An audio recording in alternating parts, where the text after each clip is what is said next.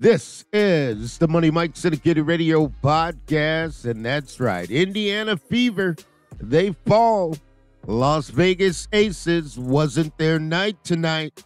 The Indiana Fever uh, didn't come out the gate, but uh, we're going to talk about it. This is the Money Mike Syndicated Radio podcast. Christie Sides is on the hot seat. I repeat, Christie Sides is on the hot seat. Now, this may just be the Money Mike's hot seat, but you know what? I got to ask myself. Christie Sides on the hot seat, and let me let me kind of break this down and let me take you where I'm going, and then you guys got to uh, appreciate the comments and come back and tell me how far off base I am. But uh, Christie Sides uh, has got to be on the hot seat, and I'll tell you why. I listened to Christie Sides in the press conference, and when you listen to Christie Sides, she talking about the future. She's talking about the future of how great the Indiana Fever are going to be in the future. Not now, not now. No, no, no. Christie Sides doesn't want them to be now. Chris talked about the physicality the Aces displayed tonight. Um, what was it about their defense, their physicality that kind of just knocked you all, I guess, off a little bit, especially in that second quarter? Yeah, I mean, I mean they're a really good team, right? We'll start there. Um, They're a really, really good team, and they. Besides not coming in with a championship mindset. Now, of course, we got to go to the box score. We got to look at this thing and say, well, what happened? The Las Vegas Aces beat the Indiana Fever. There's no doubt about it, 86 75, right? And uh, A'ja Wilson, you know, took 28 shots, 11 to 28, and you got to look at it, went in there, didn't take a three pointer. 12 rebounds, two assists, two steals, three blocks, finished with 27 points and a plus five. Okay, but you won by 11, so she didn't win the ball game for you. And uh, when you take a listen to Christie Sides and you hear her talk, um, Christie Sides is sending a different message, a message that doesn't equate with the game you just played. You know, that's, I mean, we're, we're trying to to make those adjustments. You know, what's hard is this is kind of the way we've been playing. And so, like, to, you know, these guys, Caitlin, Kelsey, um, they've been playing those kind of minutes. So it's just really hard to try to keep that momentum and flow going, to keep it the same. Um, but yeah, you know, Timmy coming in um, with AB and foul trouble. I thought Dantas, you know, probably could have given her more minutes late. Her and uh, and Timmy playing together would have been, you know, okay. I thought Liz gave us some good minutes. She was pretty, you know, got some big rebounds for us. Um, Edub in the first half, you know, hit a couple shots. Um, you know, just got to find time for them.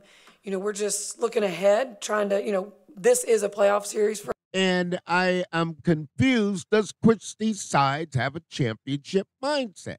Now, a championship mindset means you can come in and win now. And she's looking at how great the team is, how great the team is.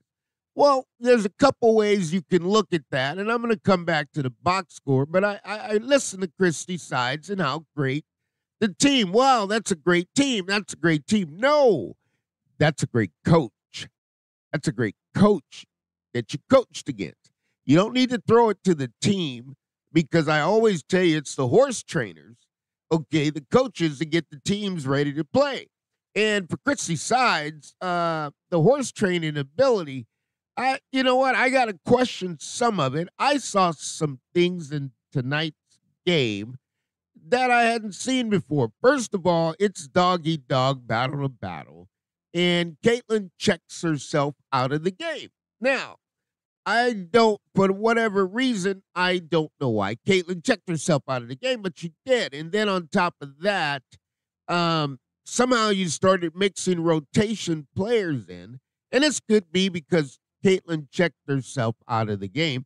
But Christie Sides didn't mention that. Caitlin did. But the point of it is the championship mindset of hearing Christie Sides speak is not to win now. Uh, yeah, Caitlin's night, obviously not her best night. It's still 16.6 assists. She said she was tired a little and I guess went back. We watched her walk out and then came come back. Was there anything to that? And then in general, how did she kind of overcome clearly a tough defense, right? And she's working like crazy. Yeah. Is that what that was? That tiredness? Oh, I think most of her shots, if you go back and look at them, they all hit the front of the rim. And I think that overtime game the other night just kind of really, uh, I mean, they did. There were times they looked really, you know, they were tired. And that, you know, when your shot's falling short like that, that's just a, a huge indication of that. So, you know, got to get in with our, our trainers and get what they need. That's what tomorrow's going to be about, and just some some adjustments up on the court. She's caught up in there's a process, and this is the process that we're going to go through. How we're going to get there. Now, what did I see? or what I, what have I seen and uh, why why Christie Sides going to be on the hot seat is um, I haven't seen Caitlin Clark. If you ask me, I haven't seen Caitlin Clark have an open shot since the start of the season. Okay, and that that's amazing to me because everybody gets an open look, but she's the only one in the game of basketball doesn't get an open look. It's so hard. And and if you watch her and you watch her play, you got to understand something, folks. Here with okay, Christie Sides and how she's looking at it because the way she's looking at it, it really doesn't make sense. Now, how did the Indiana Fever lose the game tonight? How did the Indiana Fever lose the game tonight? I'm going to take a pause. How did the Indiana Fever lose the game tonight? Because I want to hear if you're thinking the way I'm thinking, and I'm going to tell you right away. Indiana Fever lost the game tonight by bench points right in the gate from bench points. The Las Vegas Aces bench scored 30 points. Okay, 30 points right off the bench. So how did we lose the game? Indiana Fever scored 11. Okay, so you got outscored on the bench 30 to 11. Okay, and these these are the things that I really am shocked that Christie Sides can't point out.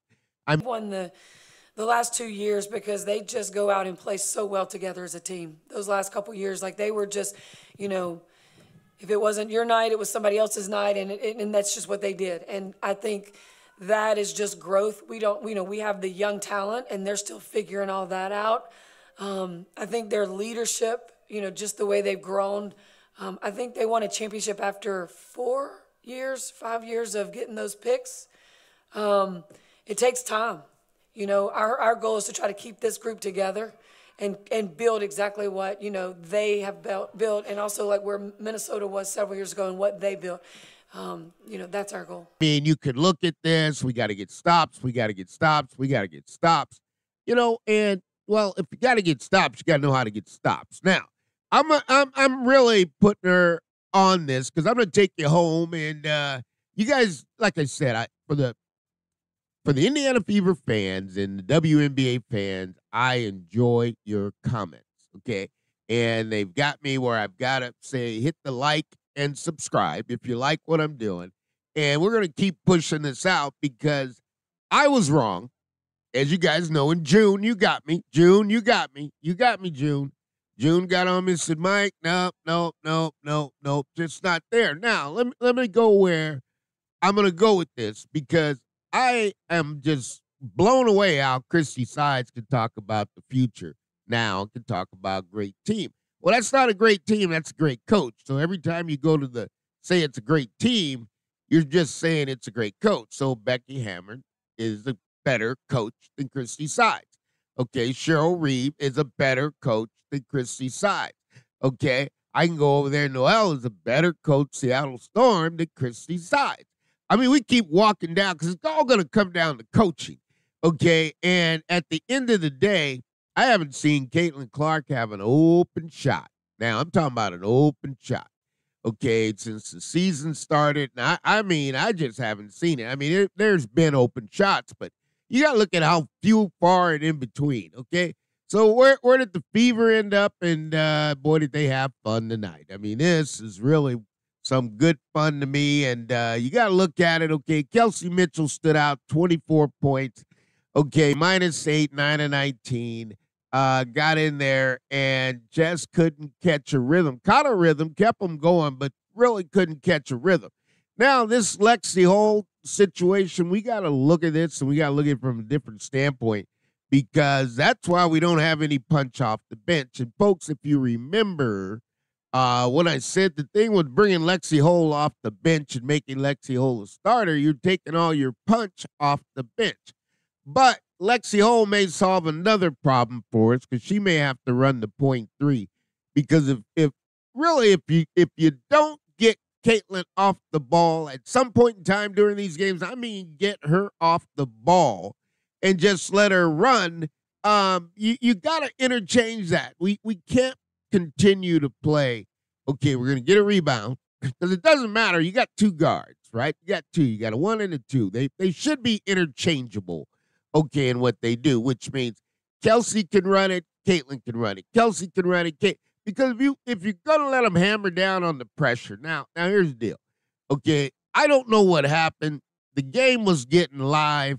Uh, looked at it. They shut A'ja Wilson was the only one that could get a shot. Okay, and then all of a sudden we buzzed Caitlin out of the game, and you know Caitlin could have been tired, frustrated. I don't know. The shooting energy, shooting was not there. Um, for Caitlin. And you know what? Five turnovers, six assists. I mean, three rebounds. There was nothing energetic. Now, what did they do? They ran for 94 feet of ball pressure. Okay. So you talk about playoff basketball now, you know, you're going to get 94 feet of ball pressure. You're going to have to have a point of one, or two, and a three. Okay. And Lexi can bring the ball up. So whoever's guarding Lexi, you're going to have to change that and run it through there. You're going to have to run it through Mitchell. You're going to have to interchange it but Christie Sides doesn't quite get that. I believe, and and this may be me not really seeing the game through the eyes that I want to look at it. But I, I, I noticed that Christie Sides is talking about, well, you got to build a team. Now, what do I mean by build a team, guys? Let's let's be honest, okay? Let, let let's let's get in there and let's call it what it is. You want to continue building because for some reason you don't believe the team is good enough now. And I don't get that. I don't get that. I don't get that at all. And I'm still trying to figure that out because how can you say we're gonna we're gonna look in the future, we're gonna look in the future because the team is not good enough now. Okay, so uh, let me let me put that, let me quantify that for you and making sure that you understand I believe the team is good enough now. I don't think we're waiting for anything else to ta- to happen than what hasn't already happened now. And you and you got to ask yourself that, right? So here, let me ask you this, okay? If Dawn Staley was coaching the Indiana Fever, and I'm going to go an extreme on you here, okay? I'm going to go extreme. If would she be thinking that the Indiana Fever are going to win two, three? It's a process. You got to build this team up. Or would Dawn Staley walk right through the door and say, Let's go, Boston. We're about to win a championship. You we're about to win right now. What do you think Boston's gonna say, right? I mean, I, I took you to the stream. She's at South Carolina. She's not going anywhere. But I wanted to take you to that extreme to understand what Christie Sides is doing. And this is this is not good Okay. And you have to know there is a process to everything. But when you get to this stage and you got the Indiana fever and you got Caitlin going one for 10, okay. I mean, at some point, you got to just say, you know, Caitlin didn't shoot it well. I mean, Caitlin shot one for 10 for the three point line. Okay. That's 10%. Okay. You call it like it is and you don't sugarcoat it. Or if you keep looking towards it's a process somebody else is going to enjoy your process. Okay. I mean, it happens, folks. It happens. Okay. And you, you, for the folks in Indiana, you know, but you benefited. I mean, Tony Dungy was the coach of the Tampa Bay Bucks. He couldn't win. They brought in Gruden, won a Super Bowl, but he came to Indiana, won a Super Bowl. This one's going to be the Christie side's going to think all this is going to happen in a certain time frame and when it doesn't, then we've got a problem because we don't know what to do. And then we start coming back and we start saying, well, we didn't really know and we didn't know what to do. So we just didn't, we play a certain way and we can't play any other way, right? So, and, and, and you think, well, coach, that's your job to have adjustments, right? So you, you're sitting there and you're trying to go, well, what happened? Right? What happened? All right. And and and you got you gotta know these things because at some point it's gonna come back to haunt you. And when it comes back to haunt you, what are you gonna do? You're gonna have to be ready, okay, to know, okay, these are the adjustments that I have to make. Now, if you keep thinking of you're to win in the future and you don't try to win now, okay, this this is going to come back and bite you at some point. And when it comes back and bite you, you got to know that well, I should have looked at this a little bit different, you know, and it would have been better for everyone, right? Because if you don't look at it different, then what are you going to do? Right? Because the walls are going to close in on you at some point, and that's what's going to happen, okay, with Christie Sides. The walls are going to close in, right? And when the walls start closing in, people make different decisions, right? And, and, and you guys got to know that. You guys already know that. You know the Indiana Fever. I mean, if if you look at the organization, they're going to go through changes, right? And when you start going through changes, you got to ask yourself, okay, how are we best going to look at this? What are we going to do differently? And how are we going to be, right? What are we going to be going forward? And that's the Indiana Fever. They got to ask themselves that question eh, eh, because if I'm looking at it collectively now, and you got Christie Side saying, well, this is going to get better or this is going to change, you know, and I don't believe that. I don't believe that for a bit, right? And so when you get to that stage, and I'll give you an example, right? So you got Allison Barber was the actual president of the Indiana Fever. Okay, she's going to step down at the end of the year. Okay, so that that that's a major major change coming from the Indiana Fever. Now, when you get that type of change and you got to bring in a new president, okay, what do you think the new president's going to be thinking about? Okay, what do you think the new president's going to be thinking about? It's going to be thinking about, well, if I got to run the Indiana Fever and you want to give me the job, this is how I've got to do it, and this is how I've got to get things done. Now, if that doesn't happen, okay, and, and you have a transition like that where the president steps away and says, well, this is my end of the line, okay, and then you got to look at Christie Sides, and what are you doing? I think you're going to end up on the hot seat because there's going to be too much exposure.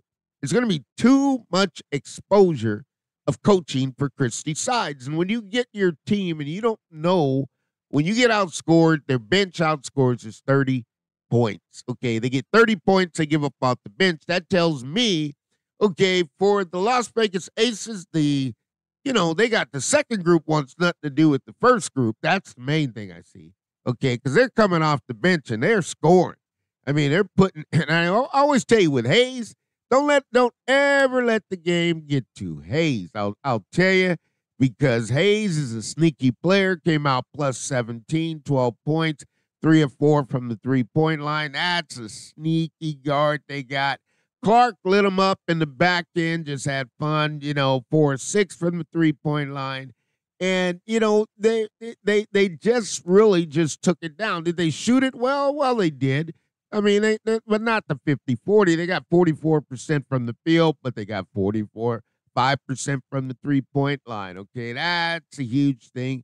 They still, and you know, when you get to the t- turnovers in the defense, um, of the Indiana Fever. You got to look at it. They only turned the ball over eight times, right?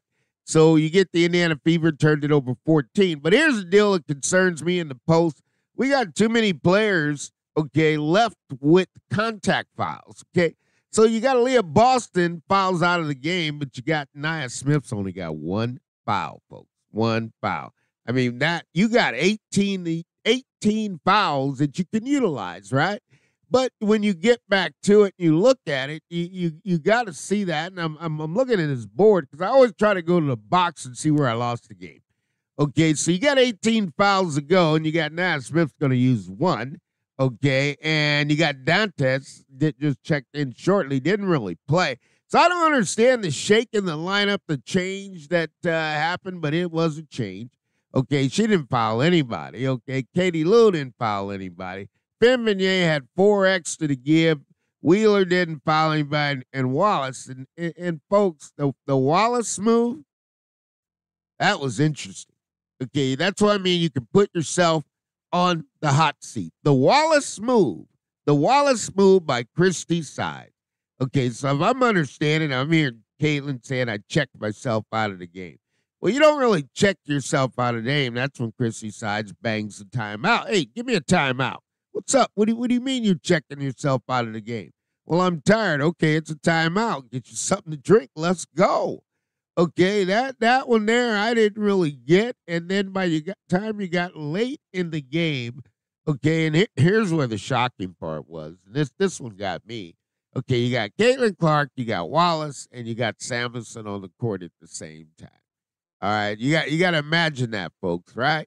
You got Caitlin Clark, okay, you got Wallace, okay, and you got Samuelson on the floor at the same time. Okay, that didn't make any sense in this game that was played. I I, I couldn't find the reason of why you would do that. Okay. And I don't know what's going on with Samuels. She can't run. Things are not there. Can't catch the ball. Can't get up and down the court. Okay. So, you know, and when you when you're not playing, okay, and with Timmy, man, oh man, oh man, oh man. Here's where you're gonna get to get your interchangeable guards because if you look at that play tonight where Timmy's trying to build to bring the ball up court, you're down six and the ball's getting swiped away. Okay. I mean, that's because you're not running interchangeable guards, and that's what can happen. So, I mean, the Indiana Fever, how do they lose the ball game tonight? Well, Christie Sides just says, well, they're a better team. It takes time.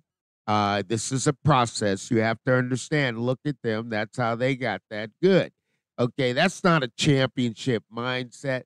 That that to me, and I could be way off. I could be way off on a different rant, you could call it, but I took time. I've been watching this, so maybe it's a mini rant, but not a rant. But Christie Sides' mentality and connection with the team is really, really struggling. Okay, really struggling because if a team is going to take the demeanor of the coach, if the coach is going to demand greatness, they're going to always talk about greatness. That's what good coaches do. They demand it, they talk about it. Now you go do it. If a coach is always talking about we're in developing and this, we don't have an opportunity, this is how we play, it's too late to change. That means your pedigree, excuse me, that means your coaching pedigree is not very deep. And this is the chance, this is the risk that you take with the coach, okay, that doesn't have a championship pedigree. Okay, they don't know what to do. That's why I went to the extreme. Not saying Dawn Staley's coming. We know that's not happened. Just to say, if Dawn Staley walked in the Indiana Fever building, okay, understand what I'm saying. If Dawn Staley walked in the Indiana Fever building, would her mindset be to win a championship now, or her mindset would be to win a championship three years from now? That's where Christie Sides is. And I have just gotten to the point that everybody she plays against, that's a great team. That's a great team. That's a great team. No, you're saying that's a great coach. So you basically said Hammon's a better coach. Reeves is a better coach. Okay, every time, everywhere you go, you got a better coach. And at the end of the day, you you you're gonna look at this and say, well, I I didn't develop my bench. I didn't develop my bench. I didn't get a chance to get my bench like their bench. So what are we doing? What are we doing? Okay. And these are the questions that are going to get you on the hot seat because it's not going to be the way that the Indiana Fever, okay, didn't win the championship. That's not going to be the narrative. It's going to be the way the Indiana Fever lost. And can this be corrected or can Christie Sides, is she the right coach to correct it? Now, coaches have championship mindset. They believe in what they do and they got to go out and they got to be great at it. Okay, this isn't college. See, the reason you can always talk about development in college because the students got to go to class. Okay, you're this is the pros. You're a full-time job is what you do. You don't do anything else. So if the students got it in college and I'd say the students, Boston, Caitlin, all of them went to college, had to wake up and didn't have to go to class. That's a whole lot of time they have to do something, and you're asking for rest and time. I have no idea why you're saying that because you should be peaking and just playing it.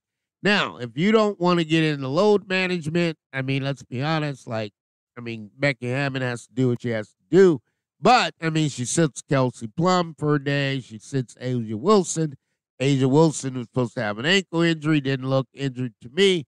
So you got to figure this thing out. But you know what? You got to do it from the championship level. And it's hard if you got a coach, never been a head coach, going to try to go win a championship in the WNBA. That's a high level to start at because the coaches you're coaching against, you're going to be in a fantasy world. That's why you're talking so highly of them. You're not trying to beat them.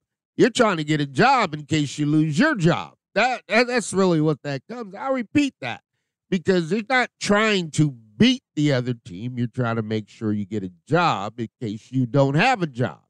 Okay. And that's the life of professional sports.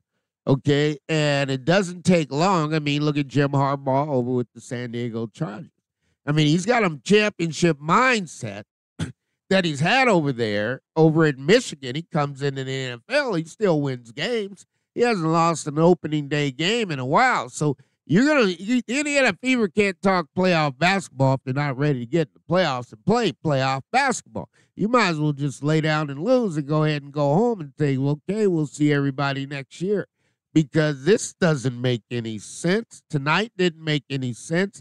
You started out, you're in the ball game, but you don't get it back to where it is. You leave Boston out for a longer stretch, okay, than you ever could have had, and you could have just utilized her.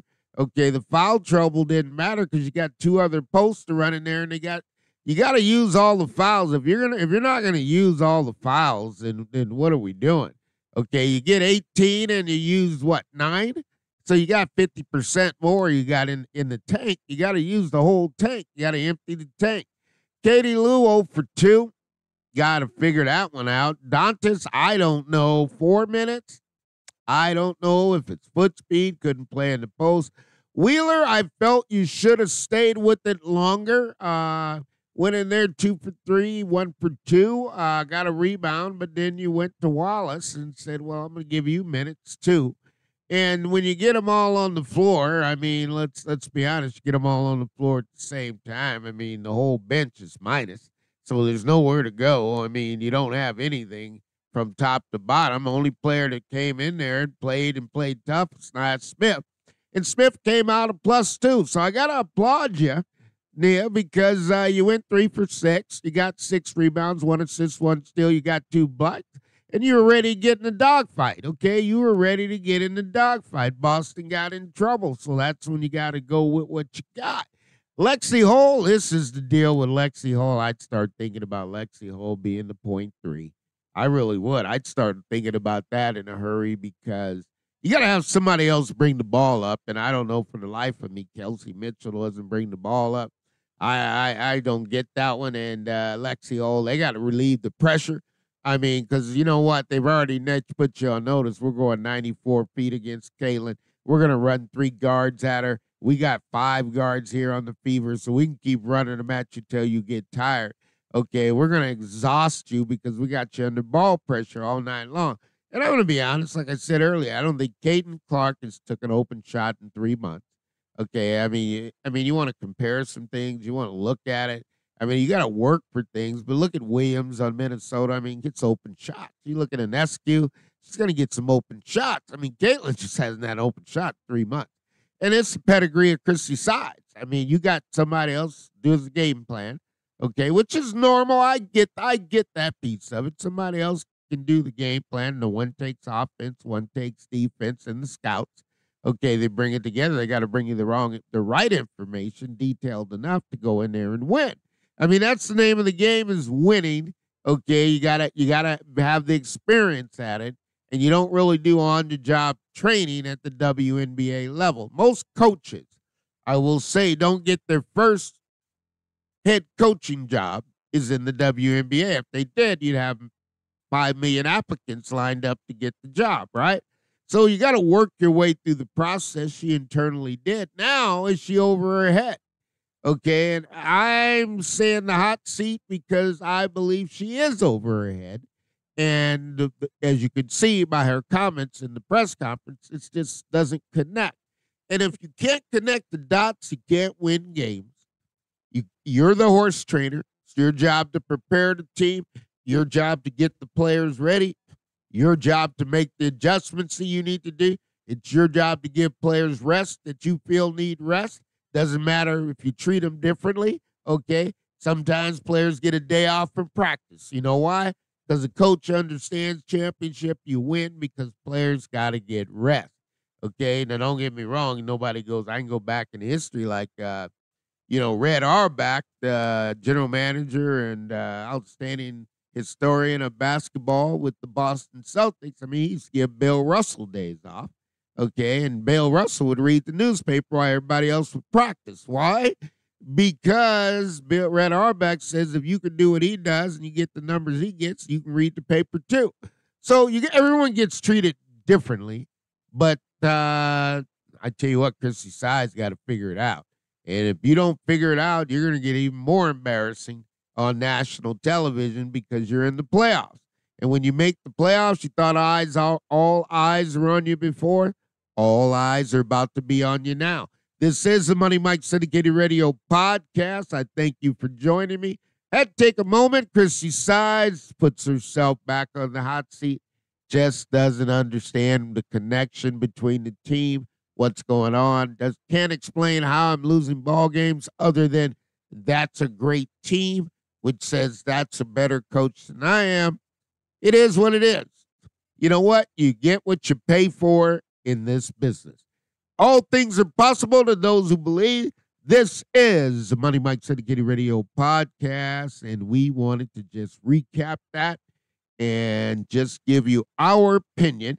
It's my opinion, but if it turns to truth, uh, I've given you the facts before it happens.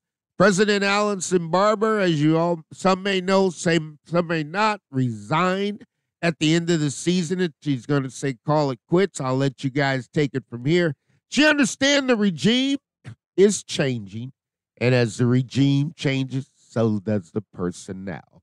So we'll see you soon, and always, you know, just try to keep an open mind. And we thank you, the fans. We thank you for the comments. Uh, and we look forward to seeing you again soon.